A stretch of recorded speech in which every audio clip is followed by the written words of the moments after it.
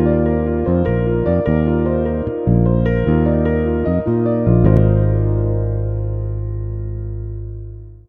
Конец декабря, все в предновогодней суете наряжаются, убирают, готовят еще чуть-чуть и Новый год, еще чуть-чуть и большие выходные, длинные праздники, но это не про актеров, потому что у них работа кипит, работа в самом разгаре, спектакли идут один за другим, создавая атмосферу, ощущение праздника, сами они чувствуют этот праздник.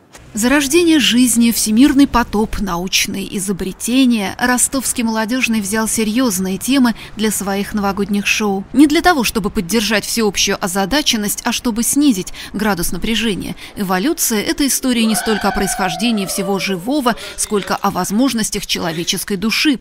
Спектакль «У ковчегов 8» отсылает к Ветхому Завету, но в этой сказке ничего назидательного, она о чудесах, на которые способна истинная дружба – а вот какие чудеса творит настоящая любовь, это уже в вечернем шоу, которое так и называется «С Новым годом! Любовь». Для нас это спектакль такой Необычен он тем, что, во-первых, за него взялись наши актеры.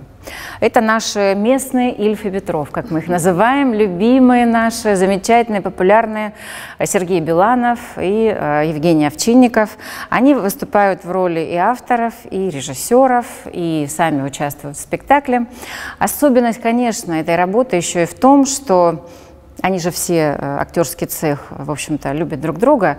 И там у нас максимальное количество актеров занято, конечно же. Там ну, практически большая часть трупы в этом спектакле как раз занята.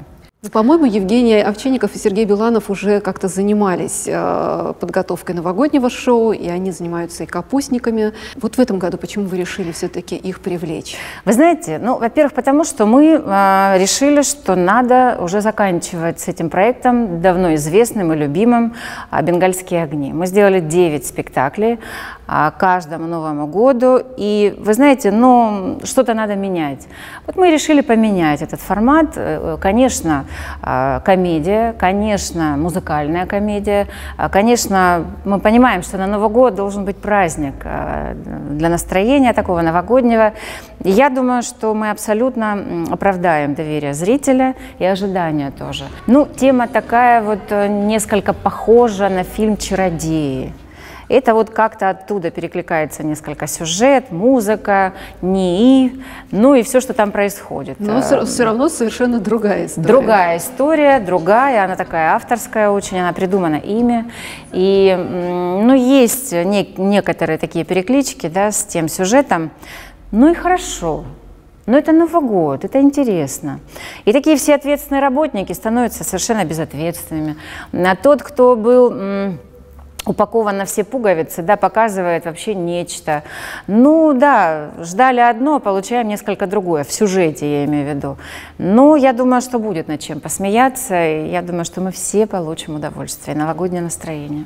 Удовольствие получаешь уже, когда приходишь в молодежный театр, когда видишь его с фасада, замечательно украшен э, театр и внешне, и внутри. Спасибо как вы э, идете к этому, да, то есть каждый год действительно хочется отметить, что украшен очень стильно, очень интересно, и э, видно, что прорабатывается каждая деталь, кто работает над всей этой красотой. Ну, вы знаете, идейный вдохновитель э, тут, понимаете, я как женщина мыслю так. А, ну вот нужны обновления каждый год. Неинтересно жить с одним и тем же. Но мы же не встречаем Новый год каждый раз в одном и том же платье. Это было бы неправильно. Вот. Поэтому очень хочется чего-то нового, потому что зрители всегда оценивают это. И просто делать одно и то же скучно и нам. И у нас замечательная команда, у нас прекрасные художники, у нас есть люди, которые это придумывают. И вы знаете, в этом году у нас даже будет фруктовая елка. А у нас, поскольку тема пингвинов нам так очень понравилась, мы ее эксплуатируем везде. У нас пингвины уже на фасаде, у нас э, пингвинами украшена елка на входе в театр, на центральном. Более того, мы объявили конкурс, это ежегодный конкурс, э, когда взрослые, дети вместе делают какие-то, вдохновляются нашими спектаклями и делают игрушки к этим спектаклям. Так вот, нам уже принесли столько пингвинов, их уже повесить некуда. Вот. И поэтому мы сами себе хотим устроить праздник. Тем более в этих условиях как-то нас немножечко ограничивают во всем. И уж хотя бы визуальное удовольствие мы все должны получить. Просто бросать окна. А может быть там нет его тайна одна. Натянули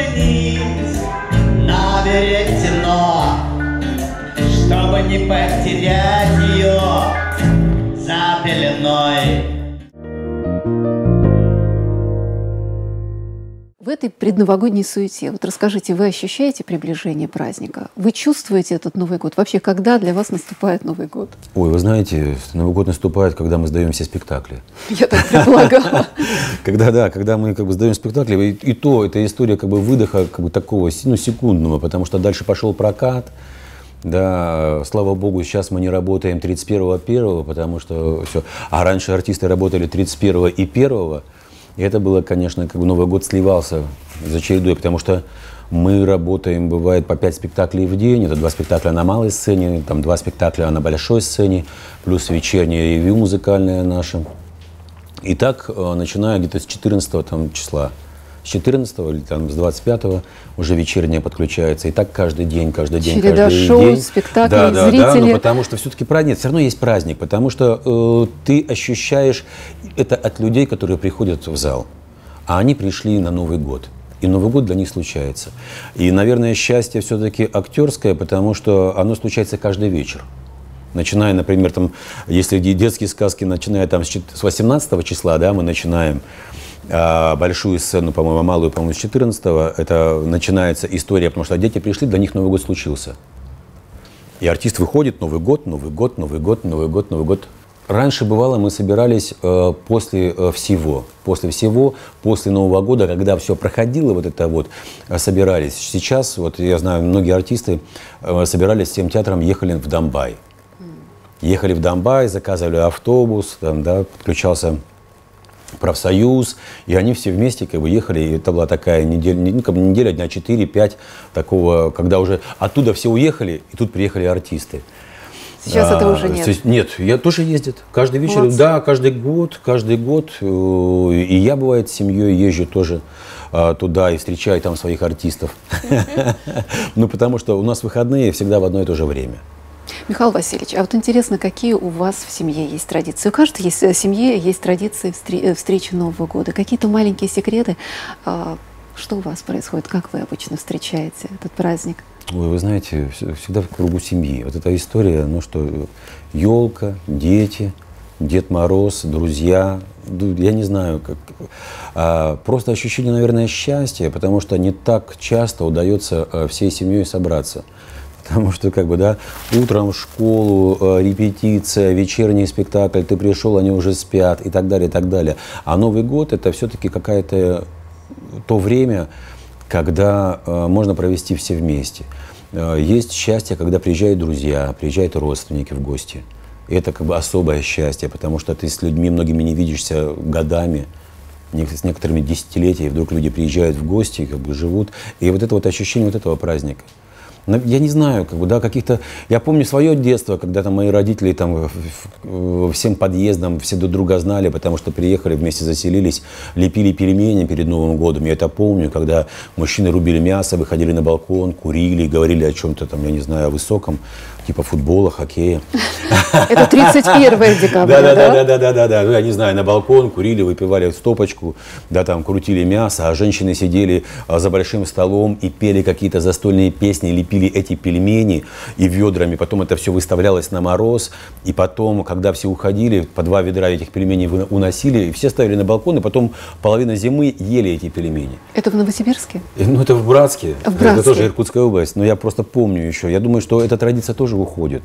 Да, такого сейчас нет. И вот меня немножко даже больно, я с артистами говорю, говорю, слушайте, а, вот эти застольные песни, мы ставим какие-то спектакли, и вот эта застольная песня, которая была застольная, она уходит. Нам проще сейчас включить iPhone, э, да, бросить его как бы, в кружку железную, как бы, и будет как бы, да, ощущение эха, и все нормально. А почти никто не поет. Ну, сейчас еще, может, молодежь какая-то на гитаре немножко там, да, но я сейчас тоже все меньше и меньше этого встречаю. А вы?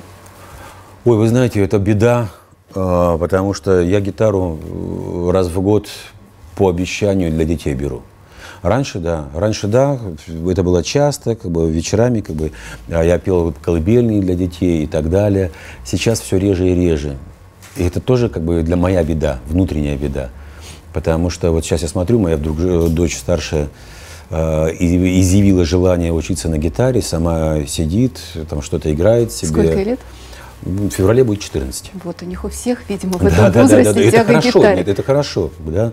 И казалось, дома есть и гитара, есть и, ну не пианино, а какой-то синтезатор, как бы и младшая пытается играть, играть на, на синтезаторе, ну может быть какой-то оркестр будет дома, не знаю.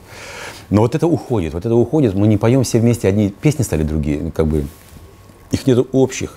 Если раньше они пели все общие песни, потому что выбор был небольшой, кто-то с горочки спустился, ой, мороз, мороз и так далее. Ну, то есть, как бы, ну, два десятка песен, которых знали все, и они пели их все.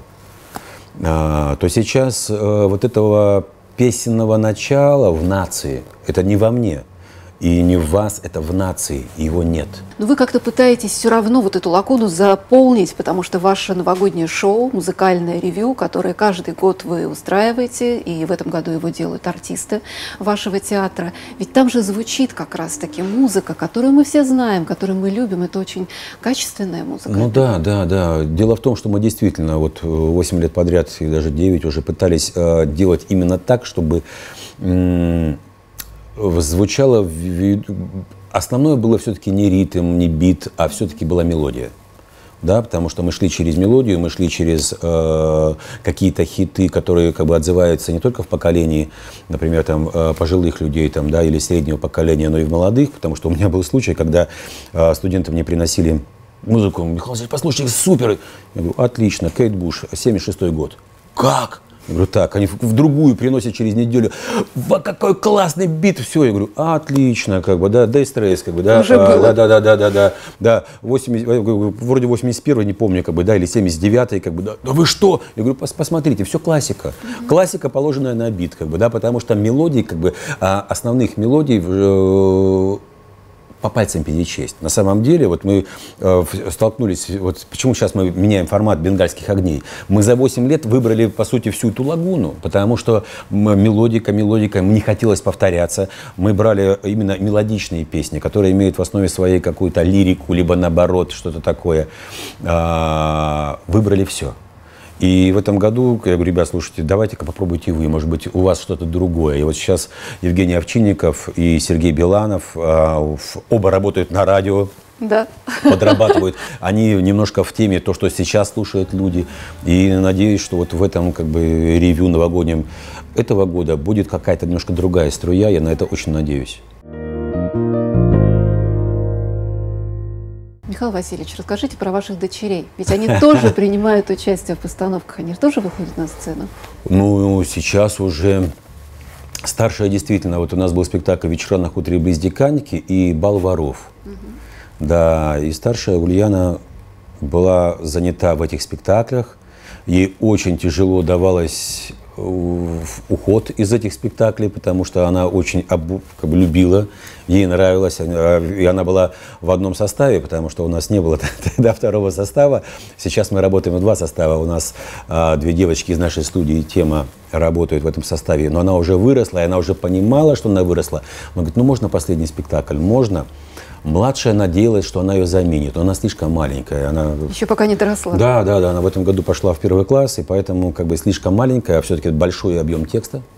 И все-таки это должны быть школьники, там, классов э, третьих, чтобы они могли держать этот объем текста. Ну, вот их тянет. А вам хочется, чтобы они связали свою жизнь с тем? Я не знаю. Вот мне хочется, чтобы они выбрали сами для себя что-то. Я знаю, что, например, там старшая мечтала быть кинорежиссером. Она там, да, что будет, потому что я же не предполагал, что я свяжу свою жизнь с театром. Никогда.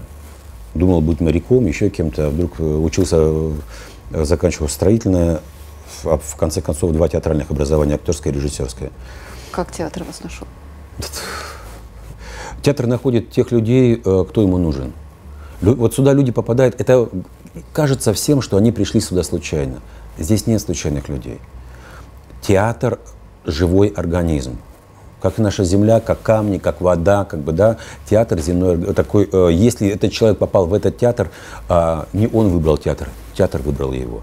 И так, видимо, случилось, что меня выбрал театр вообще в своей жизни. Я никогда не думал, что я буду заниматься. В моей семье никого нет, кто бы занимался театром. В моем городе не было театра. Сейчас есть, но в то время, когда я, э, я видел в своей жизни, по-моему, один спектакль один какой-то ужасающий, э, еще учась в третьем классе, что-то про Бабу Ягу, я не помню сейчас ничего, в ДК приехали откуда-то, в ДК показывали, а кто-то приехал, ничего не помню, помню про Бабу Ягу.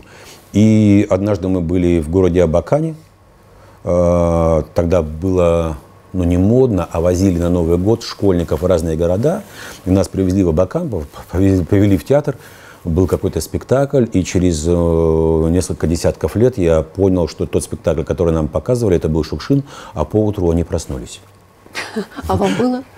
нам было лет 11, 10. Ну вот, да. Я, я просто помню эту фразу, одну единственную, где я в морге.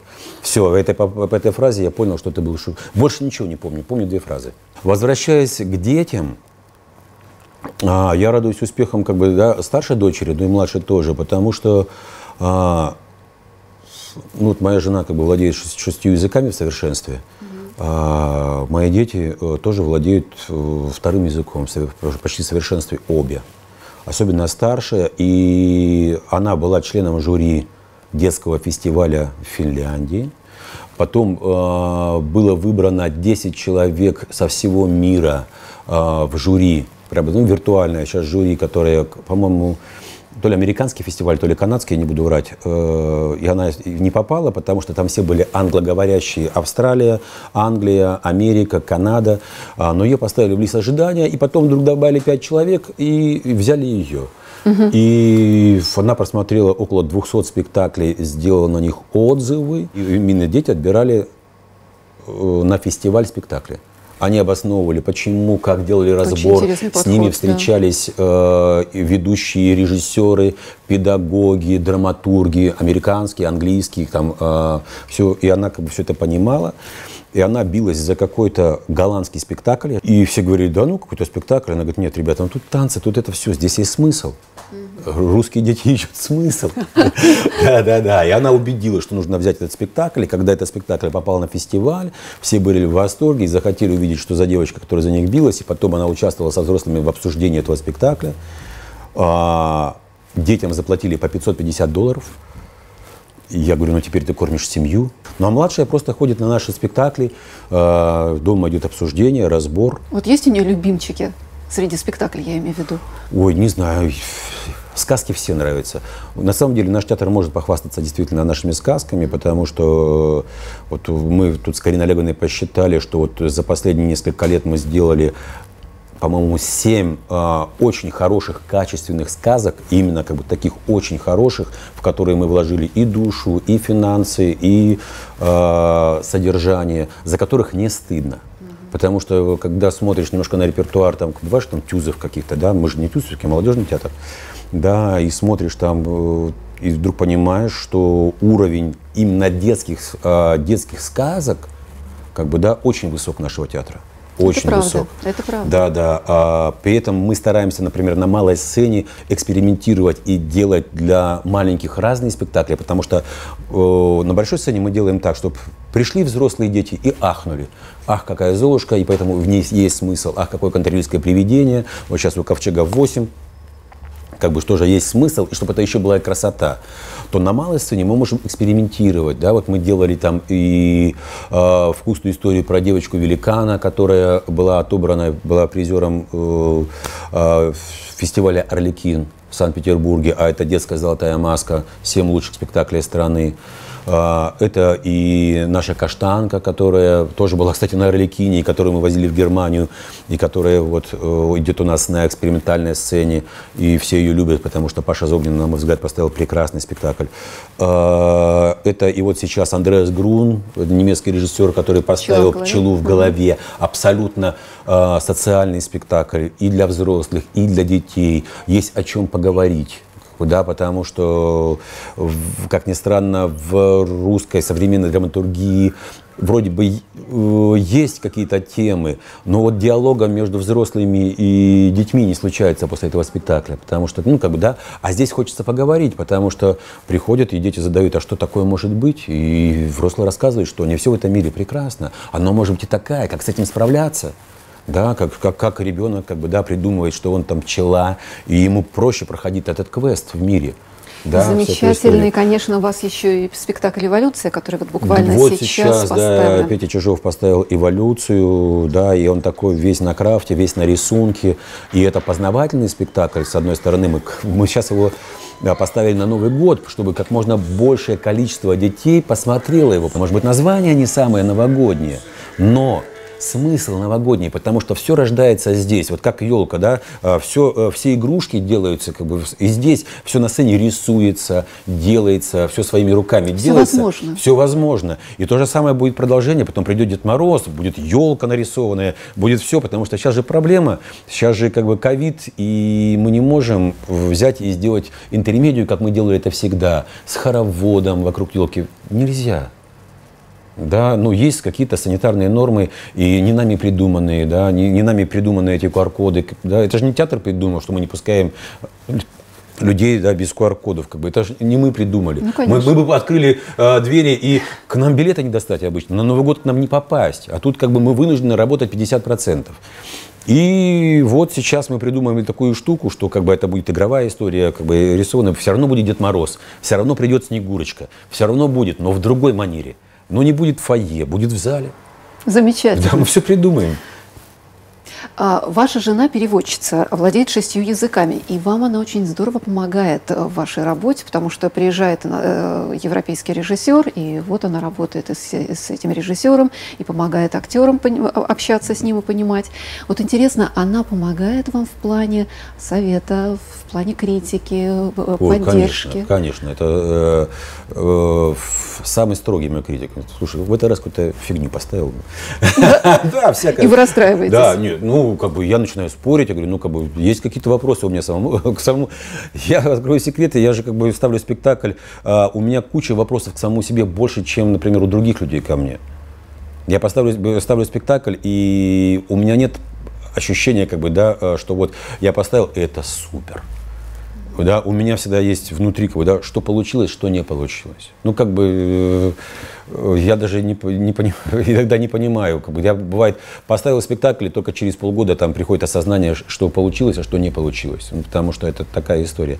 А если говорить о переводчике, то только мне повезло. Э, повезло мне, повезло театру, потому что а, вот был манифест, когда у нас, она помогала у нас и с манифестом, как бы, да. Мы ездили в Германию, это как бы переводчик свой, который как бы, у нее же европейское образование, она училась в Германии, а, у нее очень много связей именно в театральном мире, как бы, а, западном, во Франции, в Германии, как бы в Италии и так далее. Как бы ее приглашают э, другие театры.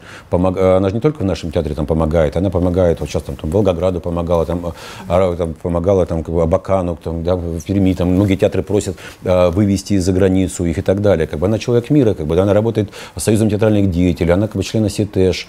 Э, ну, то есть это повезло, что на самом деле, может, Голоруду Ростову повезло, что такой человек здесь есть.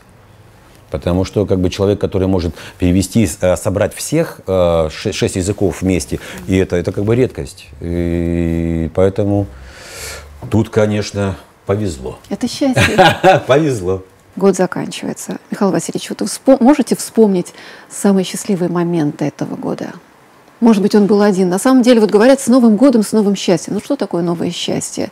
Счастье, это же Вы, вы знаете, либо есть, либо я. Я вам скажу, э, счастье настолько э, эфемерное и летучее, как, э, вот, как эфир да, э, ты поднял голову, как бы сол, солнце сегодня, как бы, да, и вдруг э, слезы наворачивает. Ты идешь, ведешь школу ребенка утром и чувствуешь что маленькую ладошку.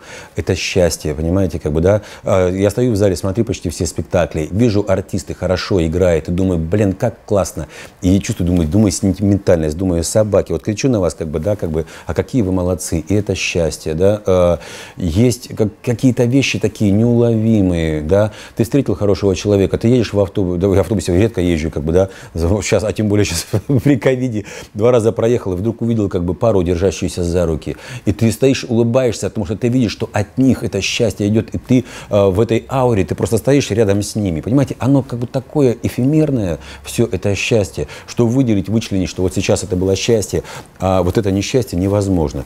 Есть такая поговорка, что ты понимаешь, что это счастье, когда тебя настигло несчастье. Да, и поэтому для меня счастье вот из таких вот а, мелочей. И вот если говорить там о каких-то, может быть, пожеланиях там, да, для зрителя, чтобы таких вот мелочей было побольше, чтобы мы чаще улыбались, каким-то, а, да, как бы, а, утром проснулся, как бы, да, увидел, как солнце попало, как бы, да, на твою любимую женщину, это счастье. Понимаете, какая-то история. Ты вышел э, вечером как бы во, во двор и чувствуешь воздух наполненный вот какой-то вот влагой, какой, каким-то таким свежестью. Это счастье. Ты сходишь с трапа самолета и вздыхаешь ростовский воздух, когда я прилетаю откуда. У меня ощущение, что он настолько плотный, настолько вкусный, что его можно есть ложкой. Понимаете? И это счастье да, вот это вот, вот такого счастья, да, улыбка детей, как бы смех детей, да, собака, подбежала, твою руку лизнула, это счастье. Вот таких мелких счастий как можно больше. Вот Будем ценить то, что есть. Да, да, да. Ну а вам и театру я хочу вам пожелать Ой, ярких э, идей, удачных воплощений, чтобы зрители действительно ценили то, что вы делаете. Потому что то, что вы делаете, это чудесно. Ой, спасибо, да. Ой, хочется полных залов, хочется, чтобы люди не болели, и чтобы как-то театр жил полнокровной жизнью. Будем надеяться. Будем надеяться. Спасибо. Спасибо вам.